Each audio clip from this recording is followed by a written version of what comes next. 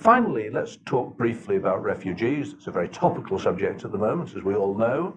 Um, uh, Spain has actually not had the flood of refugees recently that you've had in Italy and Greece, but you've still had quite a number crossing from North Africa, I think. Yeah.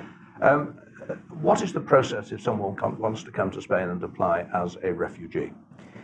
First thing is got to be communicated to the uh, at the border to the Spanish authorities, to the police. That's really something that they have to apply immediately. So if you come in illegally in a rubber boat and you don't say anything, but you get caught three months later, yeah.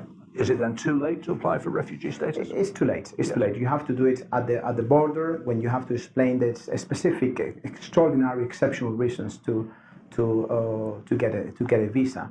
Uh, and because and this is under the Geneva Convention, uh, uh, and it's the same the rules that apply everywhere else in the world. You've got to have a well-founded fear of prosecution or death. Exactly, or because we are a signatory country yes. of the Geneva uh, uh, Convention. Then they have to explain exactly the reasons because they are considered uh, refugee.